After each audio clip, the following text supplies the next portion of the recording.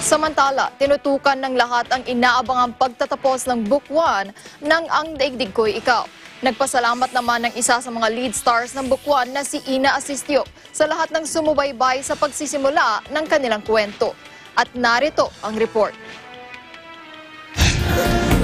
Kung ganun, para kanino ka?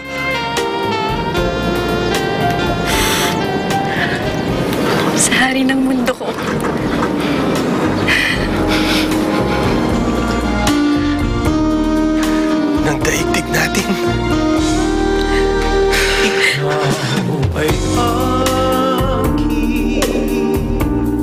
Kinakiligan, sinubaybayan at iniyakan ng netizens ang finale ng kauna-unahang romantic teledrama series ng Net25 na Ang Daigdig Ko'y Ikaw.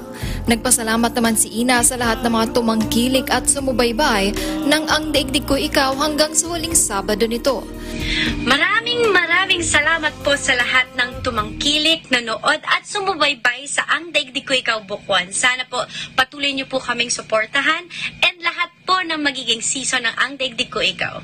Ayon kay Ina, lubos-lubos ang kanyang pagpapasalamat sa oportunidad na ibinigay sa kanila ni Jeff Eigenman ng himpilan upang pagbidahan at pangunahan ng isang orihinal na teledrama ng network.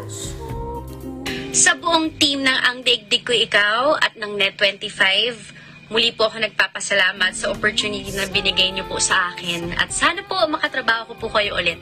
Maraming salamat sa pagmamahal at pag-aalagang ginawa ninyo sa akin. Hindi hindi ko po makakalimutan to.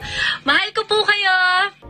Samantala, kasabik-sabik na din at marami na rin nag-aabang sa pagbubukas ng Book 2 ng Ang Daigdig Ko'y Ikaw. Pinagbibidahan naman ito ni na Meg Imperial at Fabio Ide. Natapos na ding ishoot ang naturang serye. Kasama din sa kaso na Ariel Roses, Zara Lopez, Giro Custodio, Tanya Gomez at marami pang iba. At mula pa rin ito sa direksyon ni Eduardo Roy Jr. Magsisimula na ang Book 2 ng Ang Daigdig Ko Ikaw sa March 6, 2021.